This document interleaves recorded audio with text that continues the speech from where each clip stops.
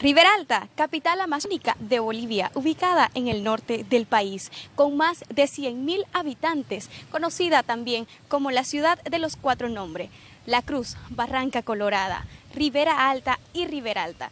Ahora les invitamos a conocerla.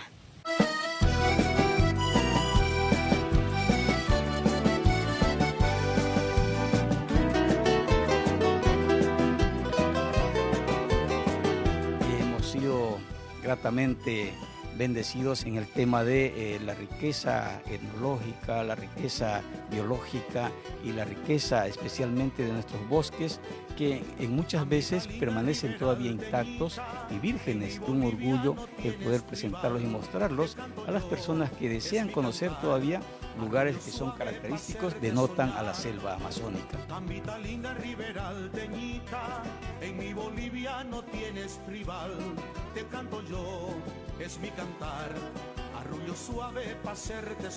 Este es el paseo turístico La Costanera, que abarca aproximadamente un kilómetro de longitud, ubicado a orillas del majestuoso río Beni y se constituye en uno de los principales atractivos turísticos de Riberalta.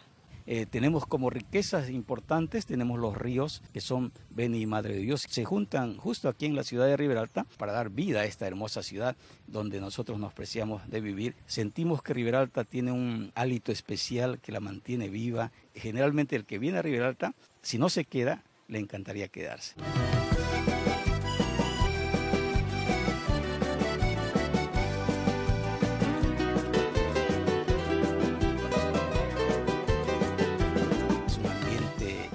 Inusitadamente alegre, festivo. La tranquilidad hace que uno se sienta pues en paz y pueda vivir tranquilamente sin temor a nada en esta ciudad. Si uno se ubica al lado de, los ríos, tenemos esa brisa que alegra los días y que puede hacer que nosotros no sintamos tanto el calor como es el calor amazónico. Tenemos una riqueza pues incomparable en cuanto a lo que podemos mostrar al mundo.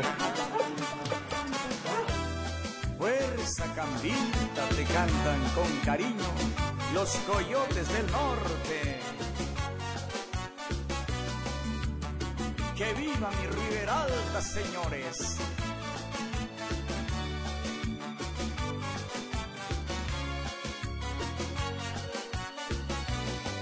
A recorrer tus calles coloradas, mi lindas peladas, sonriendo feliz. Me dije yo no me cambio por nada, no soy ni un panada, conquisto sí o sí. La tentación fue tan irresistible y por más temible me declaro así. El fuego de esa candente mirada hizo que este camba esté loco por ti.